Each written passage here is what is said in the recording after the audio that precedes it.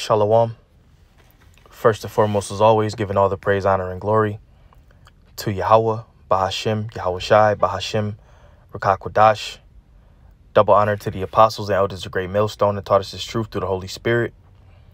And I want to give a special peace and blessings and salutations to the elect. All right, I'm the brother Zayan, and Lord willing, this lesson is edifying to feed the sheep and the lambs of Yahweh, Bahashim, Yahweh Shai. And basically, I have a lesson here lined up through the Spirit of the Lord, you know. And uh, I was just at work thinking, you know, through the Spirit of how I can edify the body. And I came up with this topic right here. So, um, you know, Lord willing, your brothers are fed. And uh, basically, what I'm going to go into is how we're going to be a nation of kingdom of uh, kings and priests, Salakia. We're going to be a nation of kings and priests okay? And we're going to reign on this earth, Lord willing, we're of that number. And the other nations will be subject to the Israelites, all right? Now, we know that there's an order that's going to be established, okay? Which is going to be Yahweh, Yahweh Shai, all right? King David. And then you're going to have the elect, all right? So, you know, we're coming into those times where we have to buckle down. So we can, Lord willing, be a part of that number. We have to do the things that we have to do.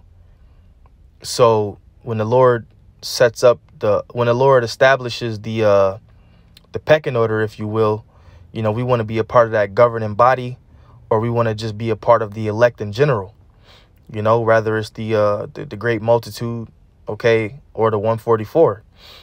All right. We just want to be, ultimately, we just want to be delivered out of here, man. But, the world to come, okay, will be ruled by the children of Israel. All right, starting with the elect. Okay, that that word elect is important. Okay, because that means you're of an exclusive number of the house of Israel. That means you have a certain seat or a certain position. Okay? And the Lord is going to establish you, man. All right? So this is the book of John, chapter 15 and verse 15. It says, Henceforth I call you not servants. This is Yahweh Shai. For the servant knoweth not what his Lord doeth. But I have called you friends, for all things that I have heard of my Father, I have made known unto you. All right. It says, Ye have not chosen me, but I have chosen you and ordained you that ye should go forth, that ye should go and bring forth fruit. All right. So Yahweh Shai ultimately chose us. The minute you see out there on the highways and the byways standing firm, the ones that got the call to do this work, the ones that are fighting to be chosen. So like you. Because right now, right now we're still in our calling, the calling stages. All right. We're, we're going into the stages where the scriptures say, uh, then they shall know who are my chosen. We're, we're coming into those times. You know, but if you're standing firm and you're doing what you're supposed to do, then that's a good sign that you could be of the elect. That's why we say hopeful elect. All right. So Yahweh Shai chose us. Okay. We didn't wake up one day and say, today I'm going to be a Hebrew Israelite. No, man, we, the, the spirit somehow we found the truth. The Lord led us to the knowledge and the spirit jumped on us and we began to learn until we were able to speak. Okay? Until we were able to, to speak the words of everlasting life. And, and ultimately, if we're chosen, that's going to lead to us being kings and priests and princes on the earth, man. Okay?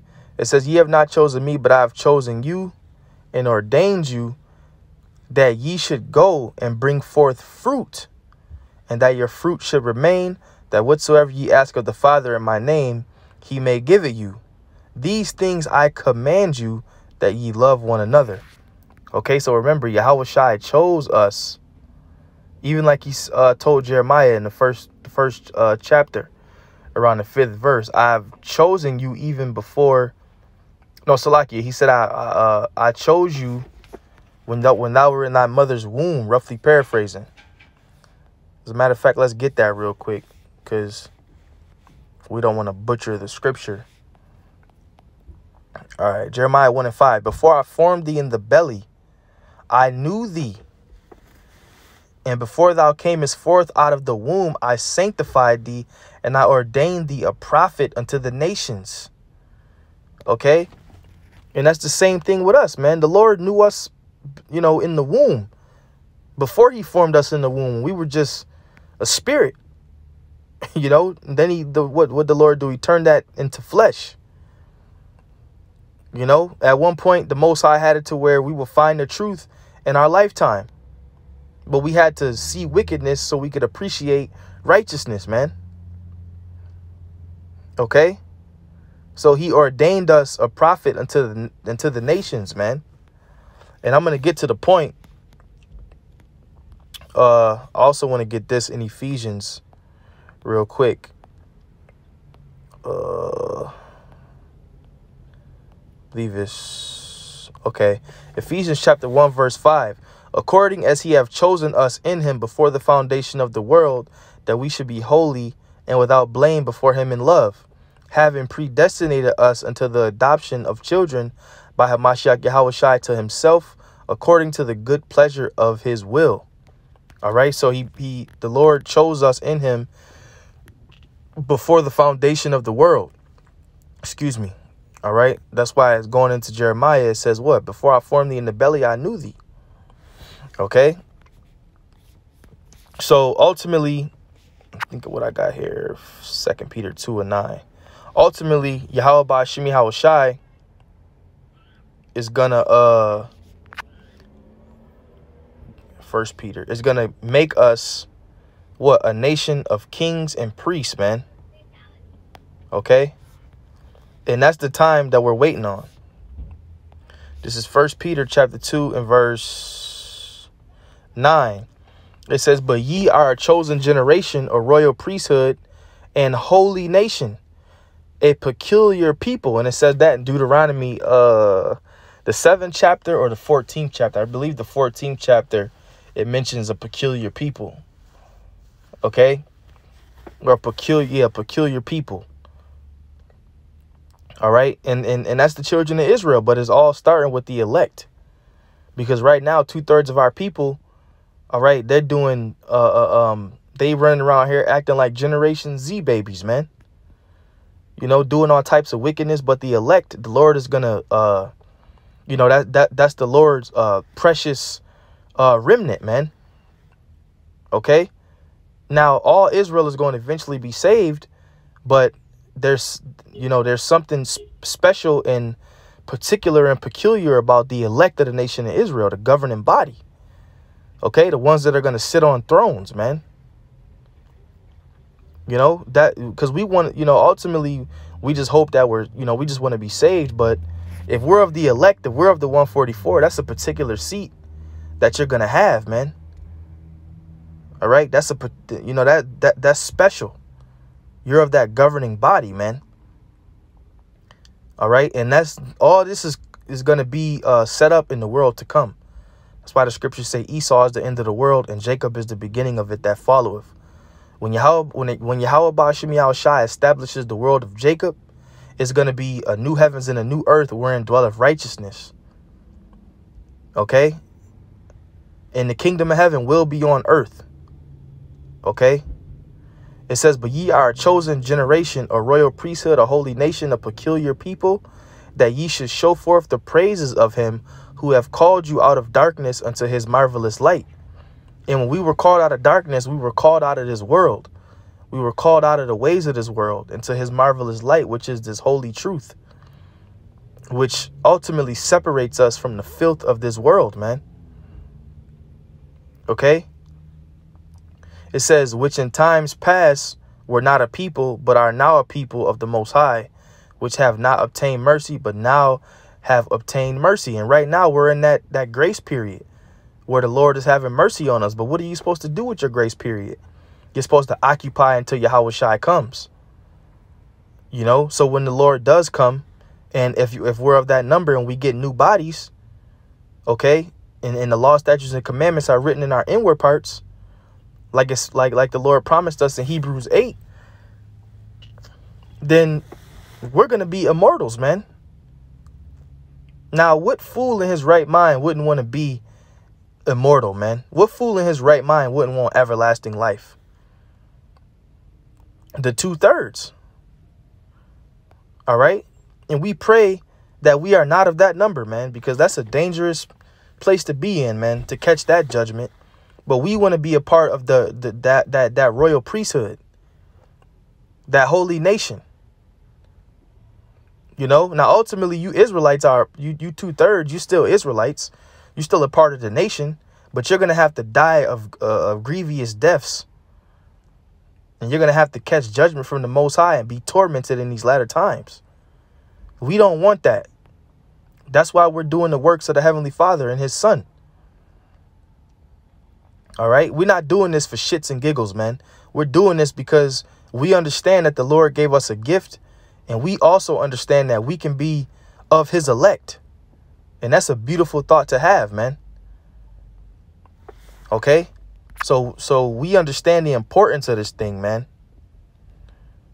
All right? This this is not a joke, all right? This is serious business. This is prophecy uh, Revelation 5 and 10. It says, and has made us and, and has made us unto our power kings and priests, and we shall reign on the earth. Okay? And we shall reign on the earth. Because we have ruling class mentalities, man. You know, we want the nations to be up under us. and if you don't want the nations to be under you, then then then you don't then you don't have the right spirit. You don't have the right mindset. See, when when when when Yahweh Shai's kingdom is established, okay, the other nations are not gonna be on the same level as us, man. All right, it's not gonna be no such thing as equality. Like Esau pushes this bullshit where uh uh, uh one nation under God, uh how's it go? And justice for all, you know? Now, we're going to do things in righteousness. Don't get me wrong. We're not going to uh, commit adultery against the uh, other nations. Why? We're not going to do things like that because the law, statutes, and commandments are going to be written in our inward parts. So if a man of another nation has a wife, we're not going to sleep with his wife like Esau did us. Sleep with your wife, get her pregnant, and have a damn baby. We're not going to do things like that because the law, statutes, and commandments are going to be the standard of the earth. But we will do things in righteousness, and you other nations will be subject to us. You will pay tribute to us. The scriptures say that our days, are, I mean, our gates are going to be open continually. And you're going to bring us all the, eh, the goods that you have. If we want them, you're going to bring them to us. Your daughters that are not betrothed, you're going to bring them to us. We're going to be able to pick which ones we want. It's going to be our kingdom, man. Okay? That's how things are going to be established. All right? And we're going to do everything in righteousness, man, because we're going to have those law, statutes, and commandments programmed and programmed inside us to where we we won't be able to sin. All right? Uh Revelation 2 and 25. And he that overcometh and keepeth my works unto the end, to him will I give power over the nations and he shall rule them with a rod of iron as the vessels of a potter shall they be broken to shivers even if i have received of my father. Okay they shall be broken to shivers man. So the other nations are going to be underneath us. All right and that's and guess what? That's all a part of us being kings and priests. Okay? That's all a part of it. Because if we're established in our kingdom, who's going to be the servants, man? Who's going to be the servants? The other nations are going to be the servants.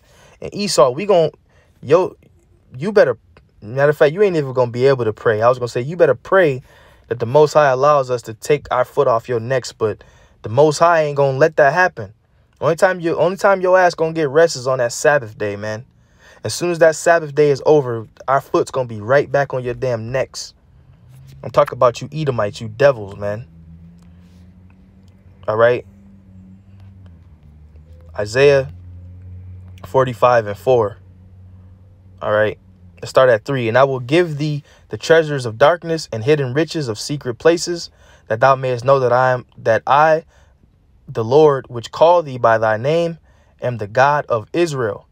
For Jacob my servant's sake, and Israel mine elect, and Israel my elect. I have even called thee by thy name. I have surnamed thee, though thou hast not known me. And what does it mean? What does the word Yashar Allah mean? It means to be a prince of the power. So the Lord surnamed us, Yashar Allah. He is a prince of the power. So we're going to go back to those ways.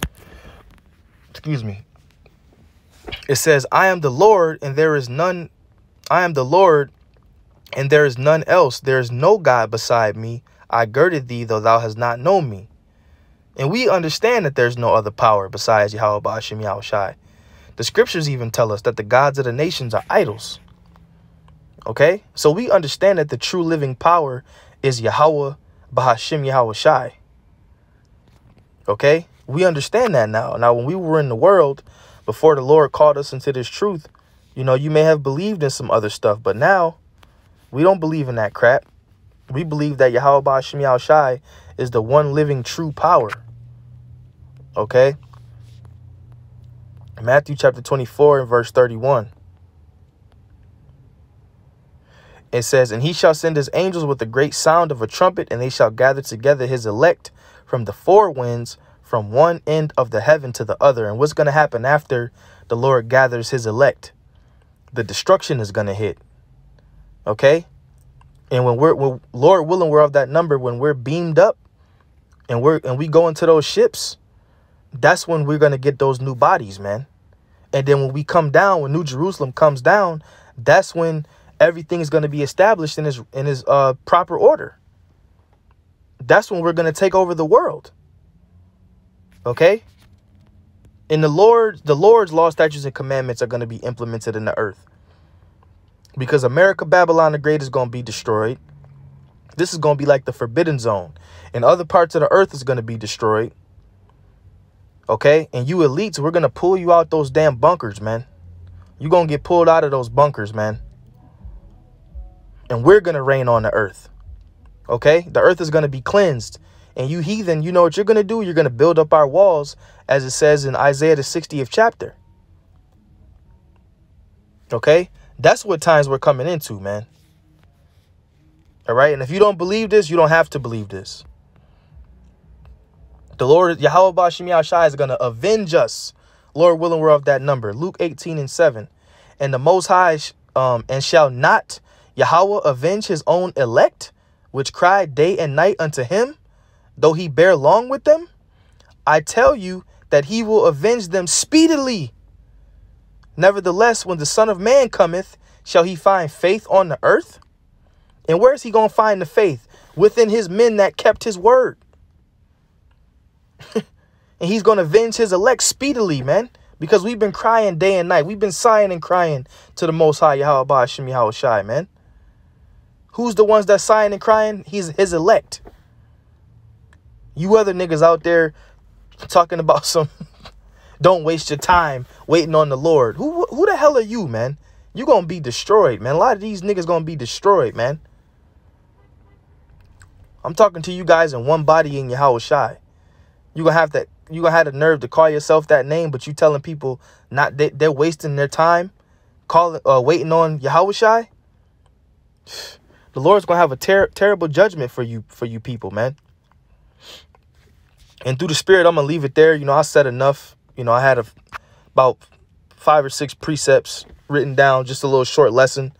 Uh, Lord willing, this is edifying. You know, like I said, man, we're looking forward to being kings and priests, you know, on the earth. And we're, we're going to say that humbly because we pray that the Most High gets us through this thing, man. We pray that he brings us through the fire, man. We pray that he beams us up. And we pray that he writes his law, statutes, and commandments in our inward parts. All right. And most importantly, we, we pray that we're of the elect. All right. So I want to give all praise, honor, and glory to Yahweh, Bahashim, Yahweh Shai, Bahashim Rakakwadash.